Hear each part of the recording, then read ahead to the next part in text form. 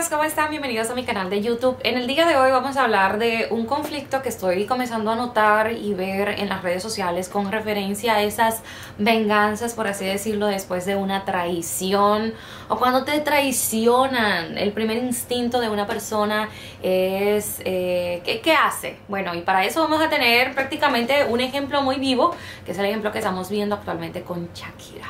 Pero antes de empezar este video te sugiero que te suscribas al canal, active la campanita de notificaciones, le dé me gusta a este video.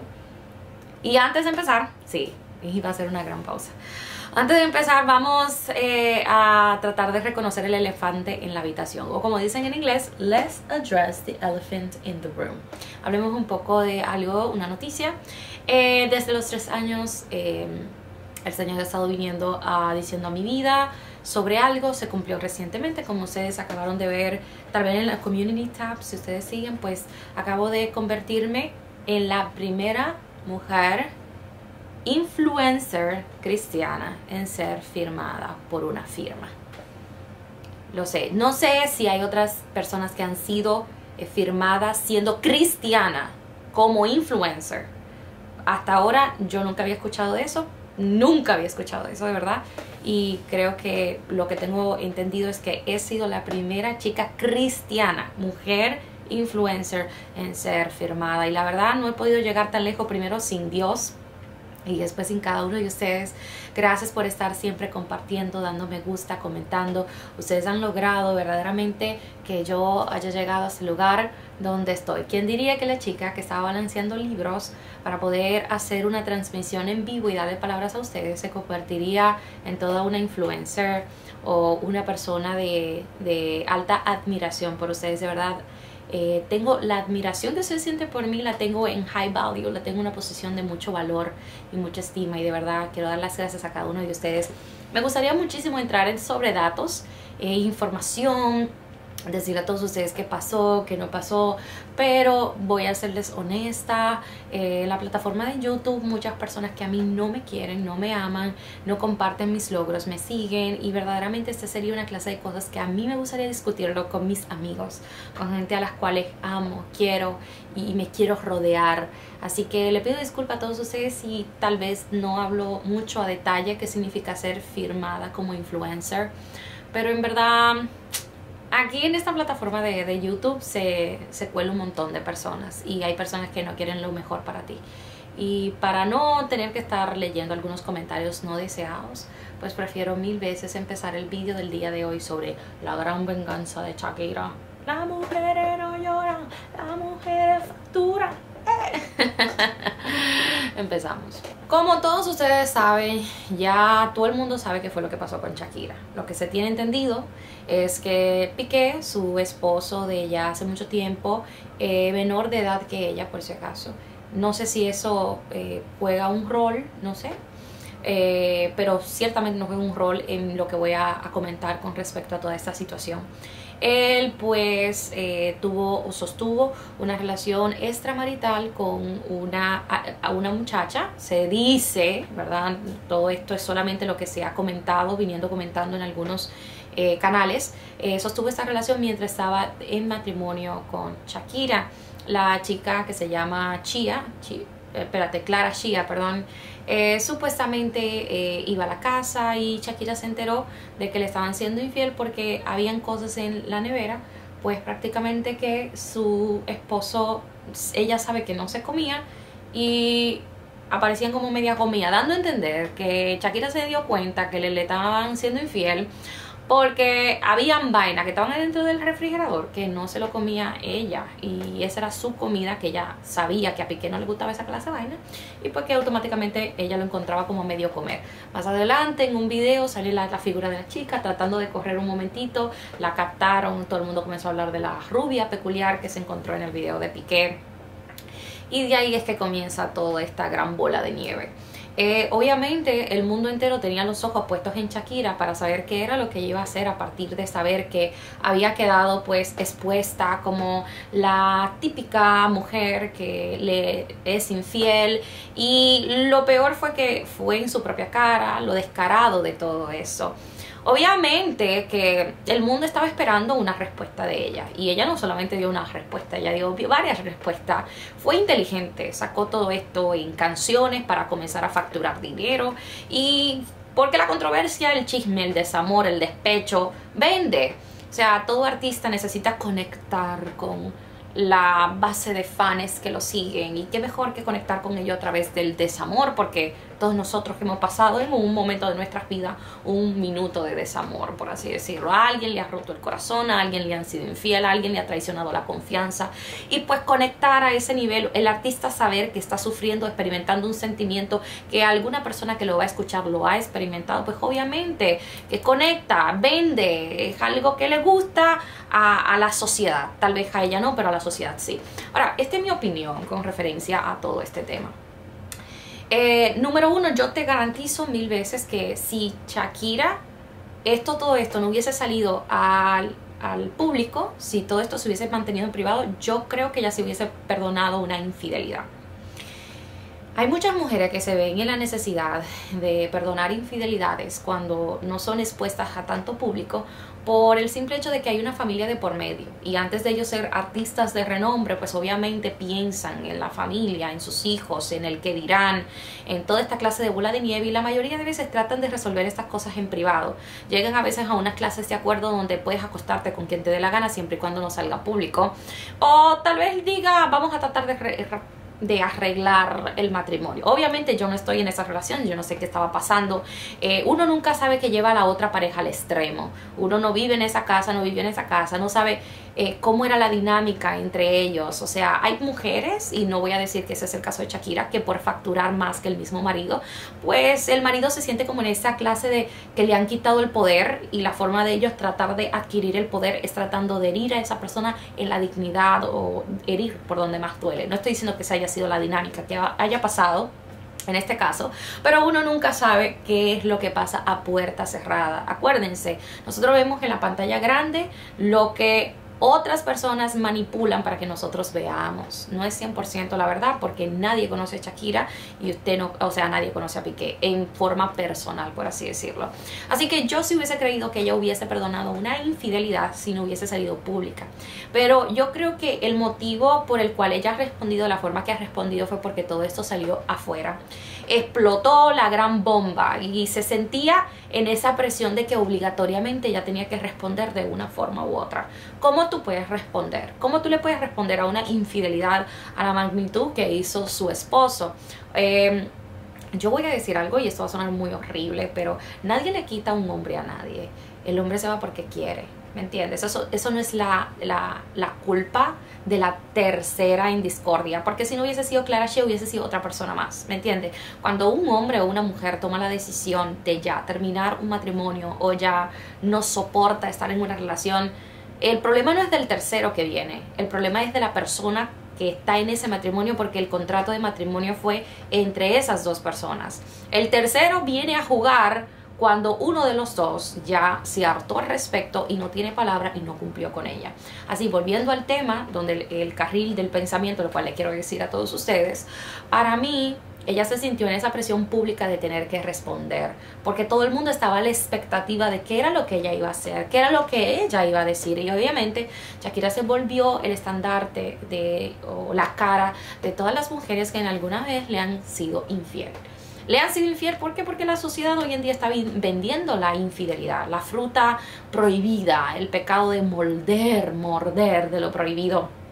Y pues ella cayó ahí, que se volvió la cara. ¿Y qué? O sea, al principio yo digo, ok, si tú vas a responder, qué mejor que facturar mientras tú respondes. O sea, crear canciones, crear contenido, crear cosas así bueno, pues si necesitas el efectivo, el dinero y quieres hacer dinero con referencia a eso, pues obviamente haz lo que te dé la gana.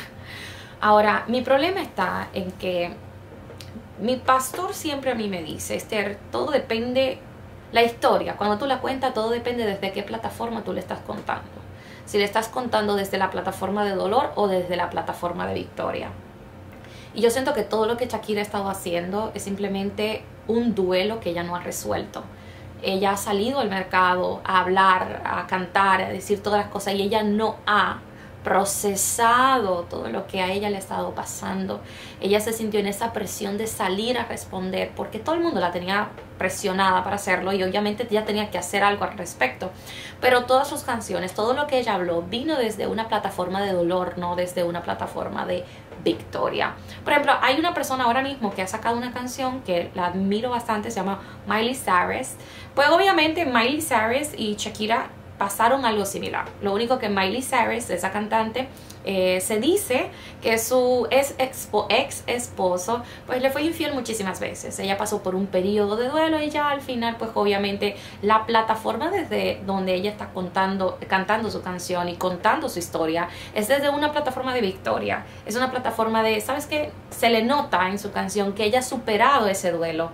Yo veo una Shakira que no ha superado su duelo, que se sintió presionada por todas las medias sociales, por todos, a ella salir a dar la cara, a tener que enfrentarse con todo esto. Y lo que pasa es que cuando tú comienzas a hablar desde una plataforma de dolor, tú haces daño. ¿Y a quién está haciendo ella daño con todo eso? Pues a sus hijos.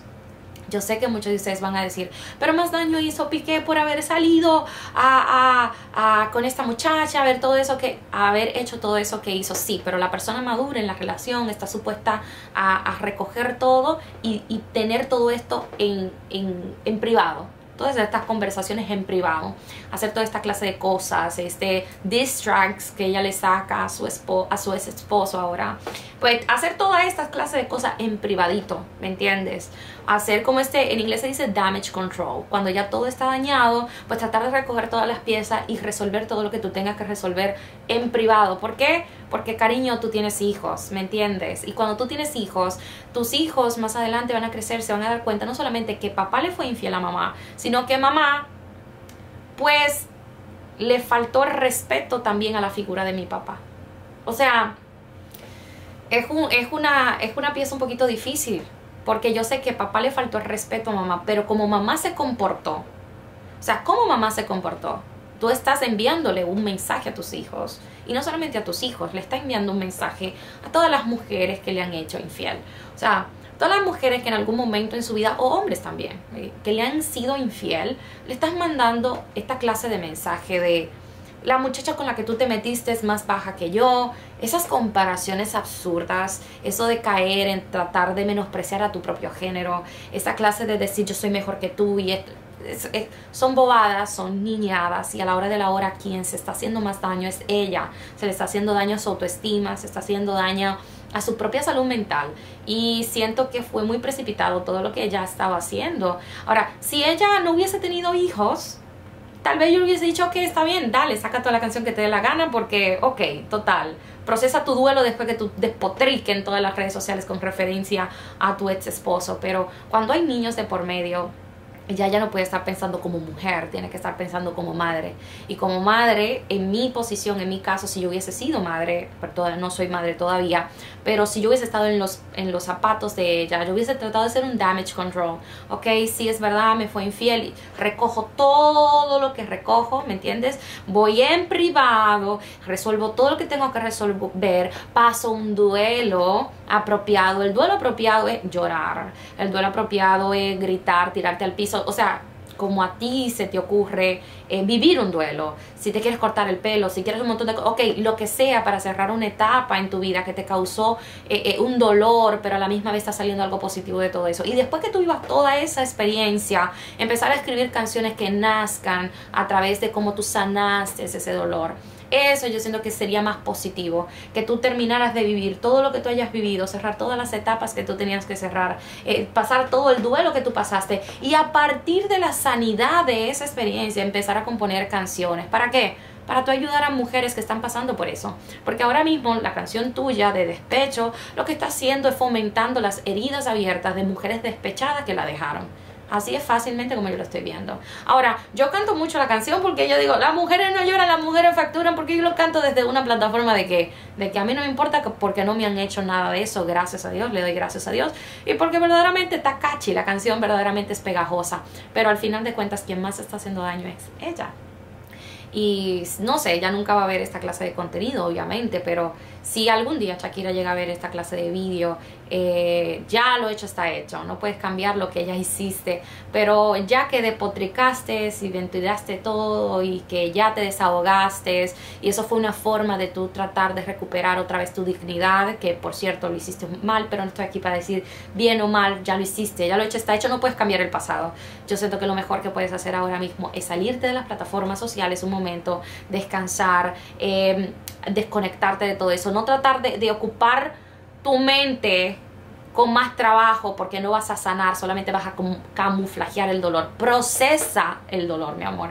Procesa que te hayan dejado. Procesa todo eso. Eh, no sé, tómate un break eh, eh, emocional por tu salud emocional. Y ya después que tú agarres y, y te tarde tu tiempecito, que meses, un año, los años que te tomen. O sea, no hay un tiempo límite para tú poder procesar emociones. Tómate el tiempo que te dé la gana y después que tú te tomes todo el tiempo que a ti se te dé tu santa y bendita gana, créame música para fomentarles a estas mujeres que están ahí afuera que si un hombre la deja no es el fin del mundo, que si un hombre la deja no era porque estaba más vieja, porque estaba más fea, porque estaba más gorda, no tiene nada que ver con eso, no tiene nada que ver con eso. A la hora de la hora, cada quien se consigue lo que se merece y la, el tiempo le va a dar la razón a quien la tenía. Aquí no estamos para estar en competencia. La persona que sabe su valor no se baja al nivel de nadie para tratar de competir y tener valor, porque cuando tú tienes el valor que tú, que tú sabes que tú tienes, tú no, te, tú no te bajas al mercado para que te vendan prácticamente, porque tú sabes que tú no perteneces a un mercado, porque nadie tiene para poder llegarle a tu precio. ¿Tú me entendiste? No sé si me captaste. Así que mujeres que me están escuchando, que están pasando por desamores, por favor. Yo sé que las mujeres no lloran, las mujeres facturan, pero también sean prudentes a la hora de ustedes escoger personas, porque yo me imagino que estas fueron lucecitas, banderitas rojas eh, que se le dio durante la, relación de matrimonio. Algo estaba mal, algo estaba mal. Y si algo estaba mal, yo prefiero mil veces eh, salir de una relación antes de quedar en ridículo como ese hombre hizo que ella pasara el ridículo, para luego tener que estar saliendo a la parte de afuera, tratar de, de, de, recuperar una dignidad que no debería de dártela a nadie. El público no está supuesto a darte la dignidad tuya. El público no está supuesto a darte el poder que tú misma te mereces o empoderarte. El público no está supuesto a empoderarte porque el público, por lo que yo sé, un día te ama, otro día te odia. El público no te va a dar el poder. Que tú tengas muchos comentarios debajo de un video diciendo yo apoyo a Shakira, yo apoyo a Shakira, no te va a devolver tu dignidad. Eso es algo que se construye se construye fuera de cámara, se construye con tu familia, con tus amigos, con tus seres queridos, con tus hijos. Y ya después que tú pases todo ese bendito vuelo, sales afuera, toda triunfante, sana, creándome canciones sanas para que mujeres puedan cerrar capítulos y también sanarse. En fin, esa es solamente mi humilde opinión. Si te gustó, no te olvides darle me gusta a este video, suscribirte al canal, activar la campanita de notificaciones y dejarme en la parte de abajo. Eh, ¿Alguna vez tú has sufrido un desengaño amoroso? Alguien que te pegó los cuernos, no sé, o te hizo pasar un momento vergonzoso. Déjame en la parte de abajo qué pasó, y qué tal, cómo lo superaste. Y bueno, señores, esto va a ser. Hasta la próxima. Bye bye.